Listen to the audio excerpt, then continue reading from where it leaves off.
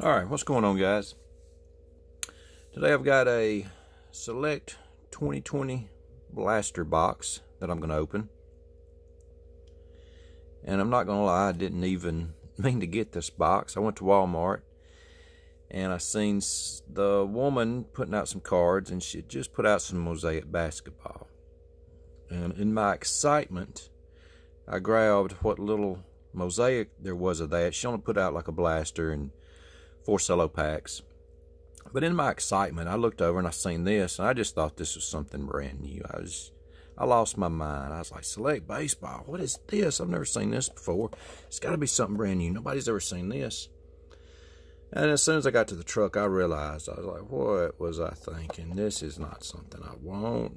This is not something just brand new. Like I don't know. I lost my mind. So anyway, I come home and I watched a couple of reviews on it, and pretty much this retail blaster, the couple of reviews I seen, either worked out real good or real bad for ever who opened it. Like there really was no in between. So I'm just gonna go ahead and slice it open now that I've got it, and see what I get. Cause I could either you know, try to get my money back on it or put it up, hope it gains some value in the future, just open it, see what's in it. So I've got it. We're going to open it. We're going to see what's in it. Hopefully, it's something good.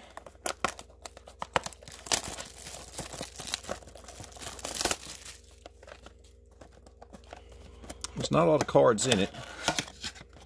It's three packs, four cards per pack. Like I said, I'm not expecting a whole lot, but you can be hopeful for a little bit.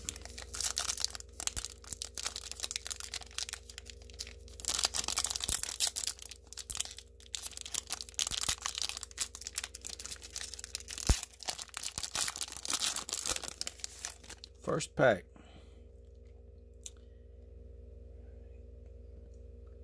Eddie Rosario. I've seen these cards. These are some neat looking cards. Michael King. I don't think it's a special card of any kind. It's not numbered. I guess it's just part of the base set. Liam Hendriks.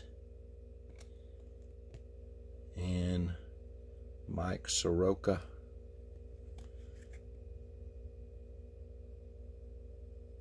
So nothing special out of that pack. Which is kind of typical from what I've seen. TJ Zeuch, DJ LeMahieu, Dylan Carlson, Mike Soroka again. So I got, I'm assuming these are the same. I guess well, I guess this one's the parallel. That's the base card.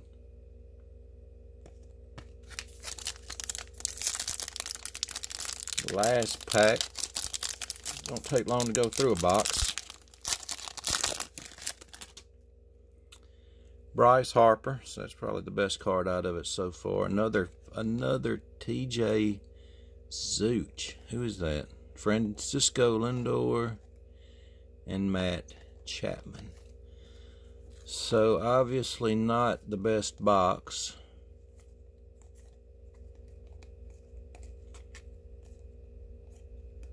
There's the TJ.